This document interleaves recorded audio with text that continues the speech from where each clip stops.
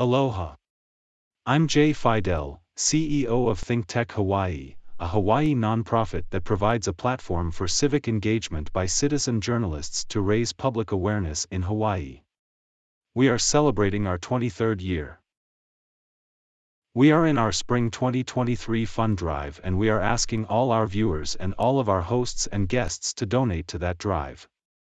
Please go to our website, thinktechhawaii.com, and click the donation button there.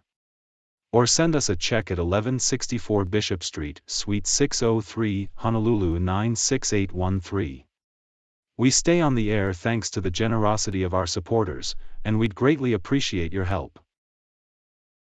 We represent citizen journalism and a free and independent press, and in these difficult times of misinformation and disinformation, it's important for many local and national reasons that our supporters help us.